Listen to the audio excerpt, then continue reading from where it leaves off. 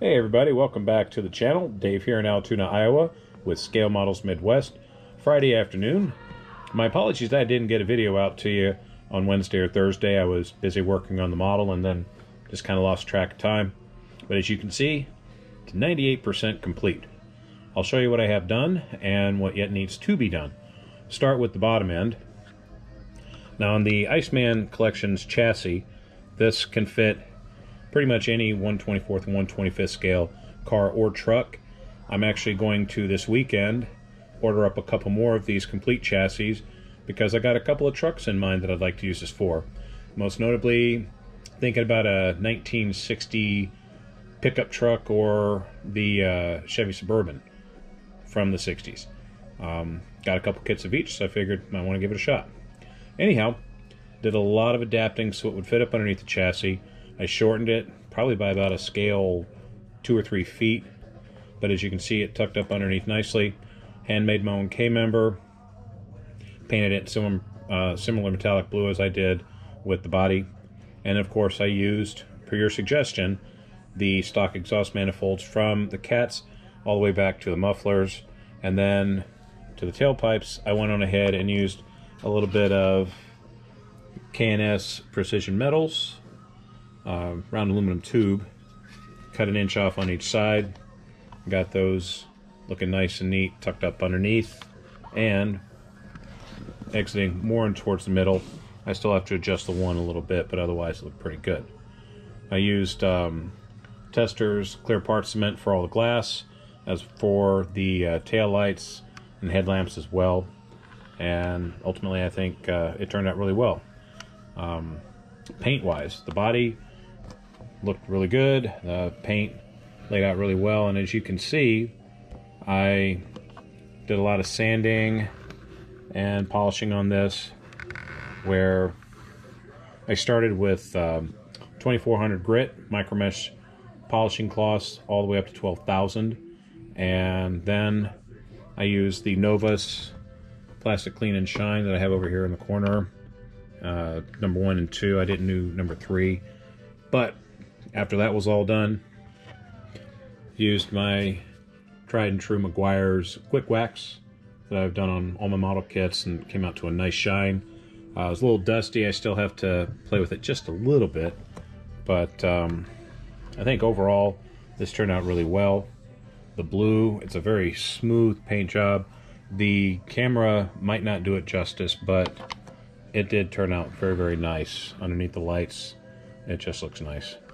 For the interior, I started off by doing a six point roll cage and then realized things weren't really going to fit without some major reconstruction on the body. So I ended up just going with a four point roll cage. And as you can see, uh, I painted that again the same Tamiya TS19 metallic blue as the body itself.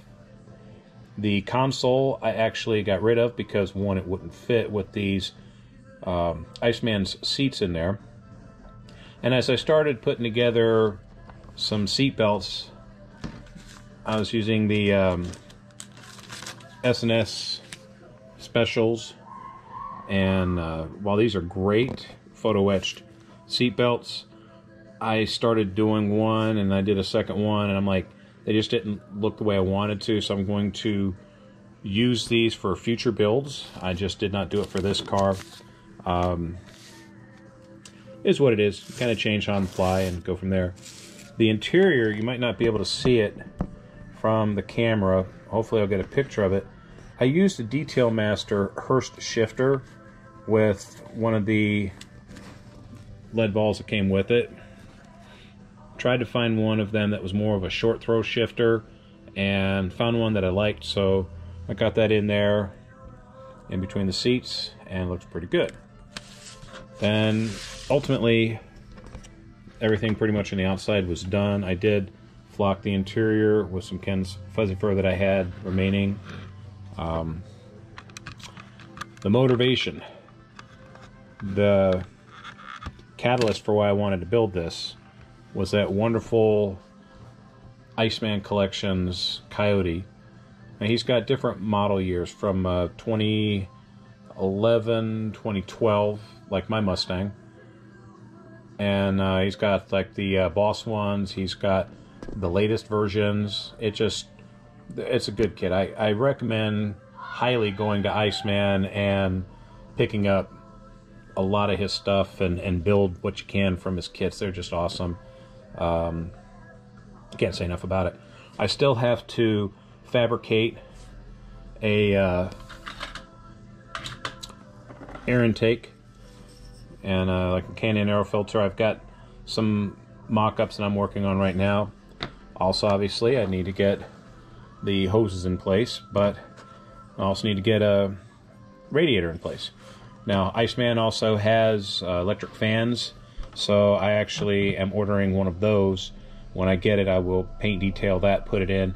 Then I will put the coolant hoses and all in place, and then that will officially make this kit done. But I didn't want to wait another week to show you the kit as it was being built. I wanted to show you what I had done, and I figured 98% is good and better than zero. So, ultimately, I like it. Stance, just right. It does look like it has a little bit of a negative camber on the front end, but I've um, got pictures of my old Mustang where I had the same thing with the caster camber plates, and yeah, I had it kind of torn out. Um, it's what it is. I didn't mind it. I do have the red, uh, like four piston calipers on it. And right behind those uh, 19 inch Crowns wheels just looks really good. So again, I like this. It, it turned out really, really well. A lot better than I expected, even with all the surgery I had to do. The wheel wells, the, the flares, um, I like it. For the first effort, I think they did great. And I am not afraid to do flares in the future. So I will tinker with that and do more kits like that. But I'm going to go ahead and move to a little bit easier kit. I'll show you which one I'm going to build next. So, be right back. Okay, as you see, the next build I've got on the table is the MPC 1970 Dodge Coronet Super B. I'm going to do this one as a relatively quick and easy build because I'm getting ready to start a longer build, if you will, of another model. And we'll be showing that here in the next couple of videos. But this one, it's going to be pretty simple. I don't think I'll have it this slammed, but you never know. this looks pretty sweet. The rims themselves, I think, are what's going to make the kit. These are from Steve Zimmerman, Z-Man Wheels. He's on Facebook, and these are running about maybe 25 bucks a set. Um, he does really good work with these, and they just look good. So I figure I'm going to put that underneath here as the rolling stock. I'm going to paint the model Testers Go Mango. I really like that color. It'll be very reminiscent of what Dave Freiburger owns. He owns a Super B as well. You'll see him through a Hot Rod Magazine or Roadkill, Roadkill Garage, and he's always showing that particular car. That's why I bought this model. I wanted to build something like his, but then when I saw these wheels, I'm like, nah, I'm going to do mine a little bit more in the weeds. And uh, that's the cool thing about the hobby. You buy a kit, you can build it box stock, you can build it with some detail, you can build it looking like an absolute junker, um, really anything mild to wild, and that's what makes our hobby so cool. So um, get out there and build a kit of your own. And if you'd like to display it on this channel, send me a couple of pictures. My email will be in the description. I'd love to show off your kits, love to see what you have. What you're building, may very well inspire me. I know that a channels that I look at that I've mentioned in my description, from Blue Ox to HPI guys to Right on Replicas to See My BMW, uh, Uncle, uh, Colonel Reb, and um, Deep Junk Garage, all of them that I have listed. I've watched what they've got built or in the process of building, and they're just so cool. I'm just, you know, enthused by what they're doing and inspired by what they're doing to be a better model builder myself. So with that, I'm going to go ahead and let you go for the night. I'm going to start working on this over the weekend.